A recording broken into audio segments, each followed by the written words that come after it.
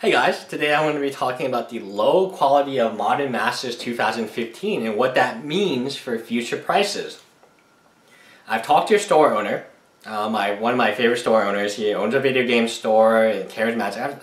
Like if you watch my channel, you you know exactly like I have anime toys. I'm going to get like new anime toys. They're going to get shipped in like Friday. I'm going to buy a box of Modern a case of Modern Masters for $700 a box. No, seven hundred dollars a case. Seven hundred dollars box would have been terrible. Uh, Seven hundred dollars a case. Maybe I'm gonna get two cases. Maybe I get one case. I don't know yet. It's up to me because he's holding two cases. I'm definitely gonna get one.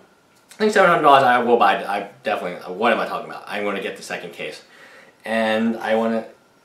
The low quality of Modern Masters 2015 is having a large impact in Houston.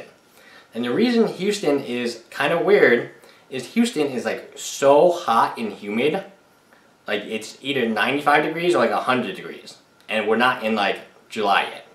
So in July it might be like 105 degrees and it's so the humid like it's so humid like you just feel like even air conditioning like I feel like just like gross all the time. Like you walk out for like five minutes and you, you walk back in to pick up your mail and you feel gross. You just feel sticky and gross. Now, Modern Masters 2015 is not tightly sealed so even in packs, sometimes like if there's enough like heat and it's left in a car, and like a, a tightly sealed plastic pack, the foil can get kind of uh, curvy. Uh, even in sleeves, like my um, Snapcaster Mage's foil sometimes curves a lot. And then you got like double, even if you double sleeve it and over sleeve it, you triple sleeve it, it still gets like a little curve in it, just because of Houston. And I've seen a ton of foils, especially like foil lots, like Oh, especially the foils I put in my uh, boxes, like my loose boxes. Like I just put like a bunch of foils, foils together, and they get all curvy and stuff all the time. And it's, I, it's like they're in air conditioned. They're air conditioned the whole time in my storage, and they still do that. So you have to ask yourself, hmm, I'm a Houston store owner. I know that this could be a problem. I know that the cards are being damaged or they could be damaged. I know the foil, I know the cardboard, the recyclable cardboard is not the best for like keeping the foil flat. I know there's a lot of damaged cards and nicks and all type of stuff that make my customers kind of angry.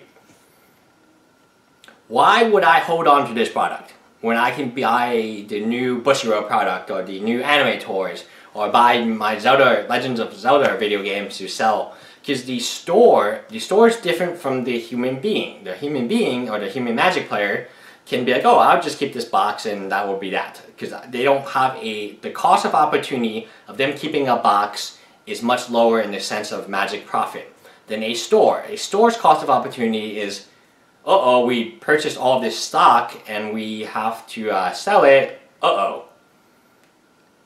You know, I mean, it's kind of like, uh, any store really, when you have inventory and your inventory is taking all this space and all this money, you can't buy new inventory. And because you can't buy the new hot product, uh, let's assume that there's like a new Pokemon game that's super high. But all your inventory is tied up in this Modern Masters 2015, which is like, you know, the foils are getting destroyed as we talk. Then the box damage, the, at least in Houston, my opinion, my personal opinion from what I've seen, store owners do not want to keep those boxes because they a do not either have air conditioning, which you might be like, oh wow, that sounds ridiculous, but it's actually true, or b it's not always air conditioned. Those boxes are not always when they leave the store, they turn off the light. Um, some days maybe they don't come to the store, and air conditioning is very expensive in Houston. It is super expensive and there are so many ways I can see like the humanness and uh, also the hotness destroying those foils for good. Like just I like I'm gonna buy my case and I'm gonna put it in like the coldest part of my storage uh, where I keep like what do I keep there? Oh, I keep some anime figures there. I don't know why, but I'm gonna move my anime figures to the front of the storage. Oh, I know why, because of the some of them like I don't know. It's a different topic, but anime figures sometimes when they get warm, they like deform. They like, especially if they're in like tight spaces and the boxes as well. The plastic around the box sometimes gets really bad. So I'm going to keep my case of Modern Masters 2015 in the coldest part of my storage unit and hope hope that helps. But a lot of times it doesn't. Like I it's not a uh, maybe it's not an issue like if you live in a colder place, but in Houston, it's a tremendous issue that I'm very concerned about. Bye, guys.